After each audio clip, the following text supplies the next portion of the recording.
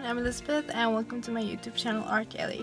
Okay, so last week I didn't post any videos, but that's because there was like a public holiday and then I kind of decided whenever it is gonna be a holiday I'm not gonna post a video that week. And then this week um, I'm in a different town, it's called Cape Town. Um, and I am visiting my sister and that's kind of why I'm sitting in my car because um like i have a little nephew and he's so loud and he keeps wondering where i am. So even if i'm in the room like he'll come knocking and just distract me.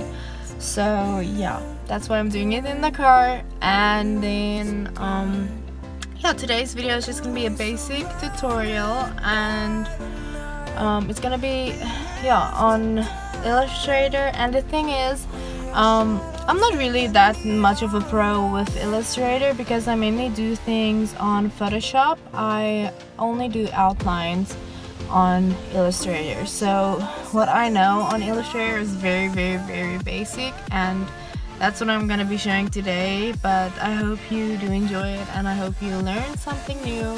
Um, so yeah, let's do it.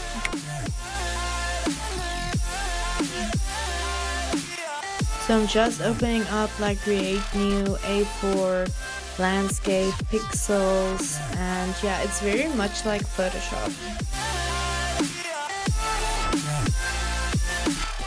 Okay so here's the artboard, You've got your tools over here and then your layers here. I like to create a new layer and then also lock the underneath layer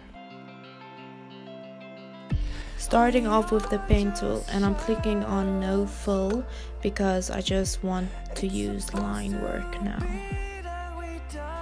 Okay so you just click once and then you can drag the line in whatever way you want. This is for straight lines and so now we're just making a zigzag. So you just click and then go to where you want.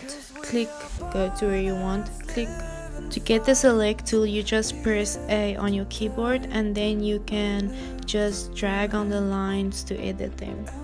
And then with this select tool, you can select the whole thing to move around.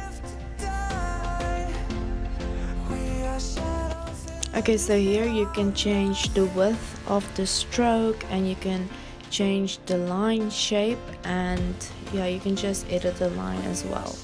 When you zoom in, you'll find these little circles and when you click on them, then you can edit the corners. To make a round line, you click and then go to where you want and then click but don't release, hold in and then you'll get a circle and you can make it how you want.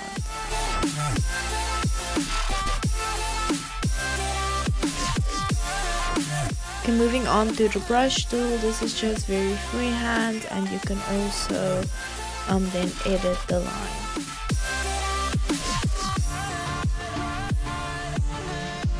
Okay, moving on to your scissors, you can then just click on your line and um, you have to click on two points and then you can delete the middle part if you don't want that part and that's basically the tutorial. Um, Photoshop and Illustrator has the same like shortcuts so that's why I kind of didn't show them now.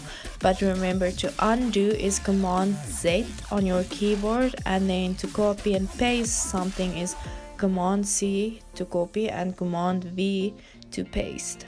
And just with saving remember to save it with the PDF there otherwise it won't be compatible with Photoshop and so that brings us to the end of the video. Thank you guys for watching and i hope you enjoyed it. And then i see you next time.